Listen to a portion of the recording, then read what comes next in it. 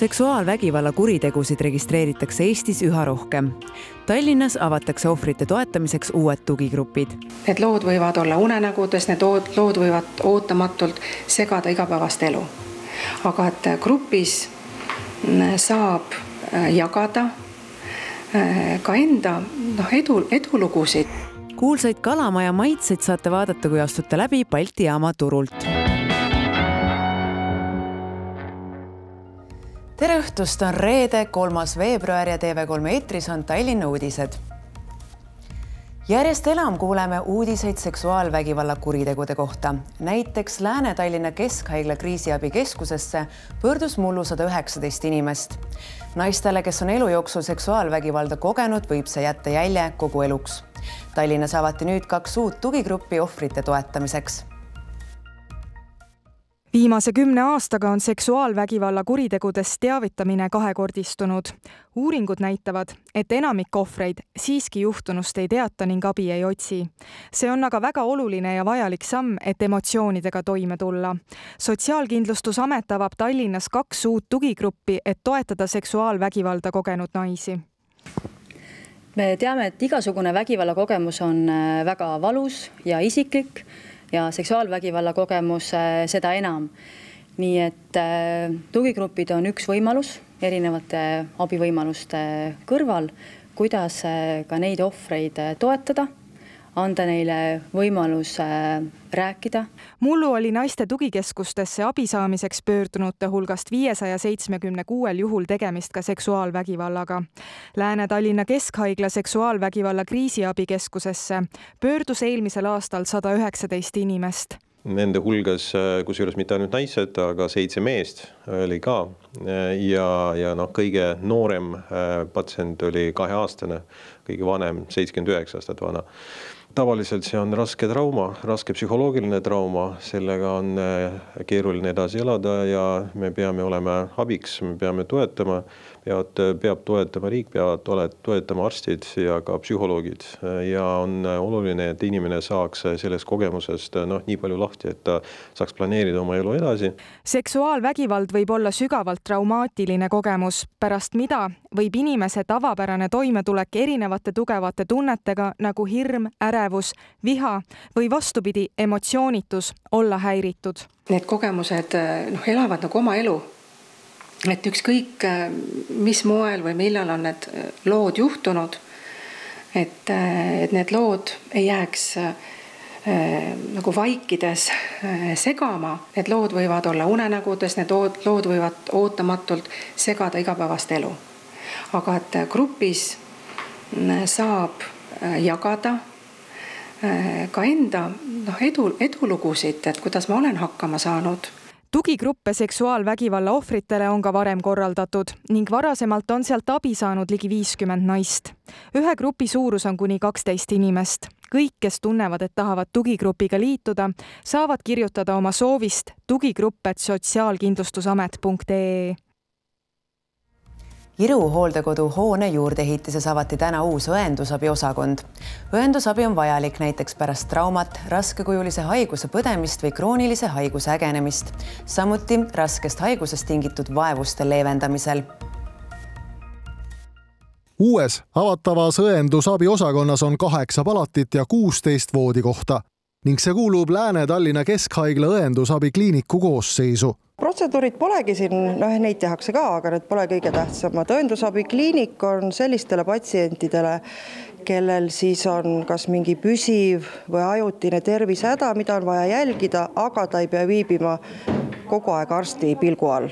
et õed kontrollivad ravimite võtmist ja noh, siis seda protsessi õendusabi osakonna voodikohtade täitumisel avatakse lähitulevikus samal korrusel ka teine õendusabi osakond viieteist voodikohaga. veebruari lõpuks peaks Lääne-Tallinna Keskhaiglal kokku olema sada kaheksakümmend üks voodikohta siia tulevad patsiendid, kes, kelle aktiivravi statsionaaris on tavaliselt juba lõpetatud, aga samas nad ei ole piisavalt heas tervislikus seisundis selleks, et minna kohe koju ja ambulatoorsele ravile. et noh, näide võib olla selline, et patsient, kellel oli Covid infektsioon ja, ja tegelikult on ta väga nõrk peale seda ta ei saa hakkama kodus ise tavapäraste toimingutega ja siis me tuleme appi temale. patsient, kellel on lamatised näiteks, patsient, kellel on mingid troofilised havandid, kes vajab sidumist, meie õed saavad talle abiks olla. ja siin on olemas ka füsioteraapia komponent, taastusravi komponent, logopeedid, nii et nad tulevad ka appi ja, ja koos teeme siis patsiendi elu pisut paremaks inimesed eelistavad Tallinnas üha enam sõitmiseks elektrirongi ja juba praegu on tipptunnil rongid ülerahvastatud Elron tellib lähiaastatel lisaks kuusteist elektrirongi, mis arvestab ka rohkem liiklejate vajadustega, kes alustavad oma teekonda Balti jaamast. Möödunud aastal tehti elektrirongidega enam sõite Tallinna Turba ja Paldiski suunal, mõlemal ligi üks koma kaks miljonit reisi. sõitjate arv näitab pidevat kasvu tänaseks on tipptundidel elektrirongid ülerahvastatud. uut veeremit on hädasti juurde vaja. leevendus peaks saabuma mõne aasta pärast. Tšehhi tootja Škoda Vagonkaga on Elron allkirjastanud uute elektrirongide tellimuse. esimesed kuus rongi jõuavad Eestisse järgmisel aastal, mis hakkavad teenindama idasuunda sealt vabaneva veeremi saab suunata Keila-Turba ja Paldiski suunale. kes tulevadki Keila-Paldiski Riisipere suuna pealt, siis me saame nii-öelda väljumisi sinna juurde panna, et kindlasti läheb siis nii-öelda nende jaoks graafik tihedamaks ja selle võrra sõit mugavamaks. Tšehhis valmistatavad rongid saavad olema kolmevagunilised, pikemad ei mahuks depoosse hoolduseks ära need vagunid nüüd praegustega on võrreldes noh, praeguste Stahleri rongidega on pikemad. niimoodi, et tegelikult reisijakohti on rohkem ülerahvastatus Tallinna ümbruses sõltub kellaajast. hommikul ja õhtupoolikul liigub rahvast enam. üks lahendus võib teoks saada mõne kuu pärast. Praegu hakkab valmis saama siis Tallinn-Keila teise peatee projekt et noh, raudtee iseenesest on valmis, seal veel nii-öelda signalisatsiooniseadmed ja liiklusjuhtimise süsteem on veel nii-öelda häälestamisel Eesti Raudtee poolt. et eh, kui kõik tööd on lõpetatud, siis läbilaskevõime suureneb ja tegelikult meil on võimalik ka sinna natuke väljumisi juurde panna. et kes lääne suunas siis nii-öelda Tallinnasse või Tallinnast lääne suuna poole sõidavad, siis nende elu saame sellega tegelikult mugavamaks teha. noh, ja ilmselt on siis reisijatel ka nii-öelda rohkem väljumisi, mille vahel valida keskkonnasõbraliku transpordi osa kasvab. Tallinn plaanib tulevikus Kristiinesse ühisterminali rajamist. see võimaldaks linnatranspordi ja elektriraudtee omavahelist ühendamist. siin peabki vaatama, et mis on need realistlikud võimalused, et oleks teostatav just äh, ka maa kasutamise vaates. et loomulikult me eeskätt keskendume ka olemasoleva nii-öelda taristu, äh, võib öelda siis potentsiaali laiendamisele, aga kui me hakkame ka näiteks rongi äh, peatuste eh, perroone liigutama, siis tulebki vaadata, et millised rongipeatused jäävad töösse, millised on lisavajadused. ehk et ka siin on mitmeid, noh, võib öelda täiendavaid ettepanekuid lisapeatuste loomiseks mullu kasvas rongireisijate arv kahe tuhande kahekümne esimese aastaga võrreldes rohkem kui miljoni võrra. täna teenindatakse reisijaid kolmekümne seitsme koosseisuga, lähiaastatel suureneb see viiekümne neljani riigikogu valimised toimuvad kahekümne seitsmendast veebruarist teise märtsini kella kaheteistkümnest kahekümneni õhtul. et kindlasti saaks hääletada oma elukoha piires, on oluline rahvastikuregistris üle vaadata oma elukoha andmed hiljemalt tänaseks, kolmandaks veebruariks kui inimesel pole registreeritud elukohta Tallinnas, aga on soov siin hääletada, tuleb tal oma elukoha andmed rahvastikuregistris korda teha. samamoodi tuleb teha neil, kes soovivad linna piires hääletada teises piirkonnas alates veebruarist saab tasuta muuseumi pühapäeval Tallinna Linnamuuseumi filiaale külastada eelregistreeritud tasuta pääsmega eelregistreerimine on vajalik tasuta muuseumi pühapäevade suure publiku huvi tõttu.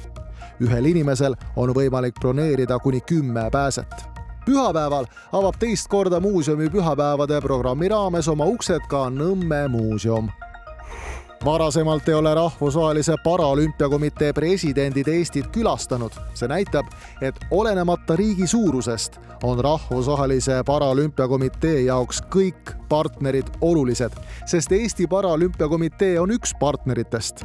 Tallinna sõnum on, puudega inimesed ega parasportlased ei vaja otseselt heategevust või kaitset millegi ega kellegi eest, vaid võimalust ja võrdset kohtlemist tulekul on kahe tuhande kahekümne neljanda aasta Pariisi olümpiamängud ja paraolümpiamängud. Ning Tallinn soovib, et nende kajastus jõuaks iga eestimaalaseni, sest parasportlased on reaalsed superkangelased kalamaja kant on kuulus oma kogukonna ja seal ringlevate toiduretseptide poolest. kuidas maitseb kalamaja, on Balti jaama turule üles pandud näitus, kus saab tutvuda kalamajas katsetatud aegade taguste retseptidega. retsepte on võimalik ka kaasa võtta ning kodus ise järele proovida taaskord Kristi kohtume ühel näitusel, seekord on siis tegemist Kalamaja retseptidega, et no sügisel avati Kopli maitsete näitus, mille poolest siis nüüd Kalamaja ja Kopli retseptid erinevad üksteisest? Ühed on Kalamaja omad ja teised on Kopli omad, aga põhimõte on suuresti sama, et äh, mõlemad need näitused on koostatud inimestelt kogutud retseptide põhjal ja näitusel saab neid siis lugeda kui ka ise jälle koju kaasa võtta. no nii, aga räägi välja, milline sinu lemmikretsept on, kas needsamad Berliini pannkoogid? mis siin on? pannkoogid mulle maitsevad alati, aga minule meeldivad väga kiired ja lihtsad retseptid. et äh, siin on siis äh, kruubipuder näiteks on kindlasti hea ja seda tehti ka näituse avamisel, prouad ise tulid ja tegid seda. aga siis nüüd tagasi liikudes, et jälle mida ma ikka ja jälle teen ka kodus, on siis aarmeritterid ehk vaesed rüütlid ja need on siis äh, nii-öelda praesaiad, aga siin Jelena vana äh,, vana Kalamaja tänavalt on siis täpselt seda oma Kalamaja lapsepõlve retsepti jaganud. soojad võileivad, lihtsad, tervisepuder, seda me sööme ja, iga hommik. täpselt, et siin on ka jällegi üks proua Ülle Soo tänavalt on kenasti siis, kuidas tema on teinud, eks ole, et jälle nad on ja siin on iga retsepti ette äh, antud ka selline selline väike siis nagu mälestuslõik või noh, et kuidas see nagu on seotud ka kalamajaga, kus seda, kuna seda tehtud on, et see on jälle ka oluline, et me ei kogu ainult retsepti, vaid me kogume selle inimesega mälestust selle retsepti ümber. ja siis tõesti, mida sai näituse avamisel ka siin Balti jaama siis demo köögis siis maitsta, oli siis Anneliisi, kes elab täna Niine tänaval, tema siis Napoleoni kook ja siin on jälle hästi ilusti, et retsept pärineb minu vanaemalt Alidelt sündinud tuhat kaheksasada kaheksakümmend seitse, kellega elasime koos Soo tänaval. et jälle siin on näha tõesti see kontekst, kust see on tulnud siis see nii-öelda see, see lugu ja retsept, et, et seda on juba päris kaua aega Kalamajas tehtud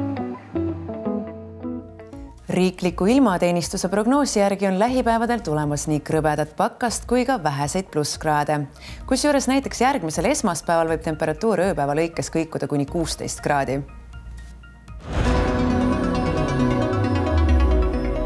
öösel vastu laupäeva on pilves ilm, ajuti sajab vähest lund, õhutemperatuur öösel miinus kolm kuni miinus viis kraadi. päeval pilves selgimistega ilm sajab vähest lund, külma kuni kolm kraadi. Öösel vastu pühapäeva muutliku pilvisusega sajuta ilm, õhutemperatuur öösel miinus kuus kuni miinus kaheksa kraadi. päeval pilvisus tiheneb, pärastlõunal lumesadu. õhutemperatuur on null kuni miinus kolm kraadi. öösel vastu esmaspäeva pilves ilm sajab lund ja tuiskab, pärast südaööd sadu lakkab ja pilvisus hõreneb. õhutemperatuur öösel miinus ühest kuni miinus kolme kraadini esmaspäeva päeval on muutliku pilvisusega sajuta ilm, õhutemperatuur on null kuni miinus kaks kraadi see oli reede, kolmas veebruar Tallinna uudistes. kõiki meie lugusid on võimalik järelvaadata kodulehel pealinn.ee. kohtumiseni esmaspäeva õhtul kell kaheksateist viisteist. head õhtut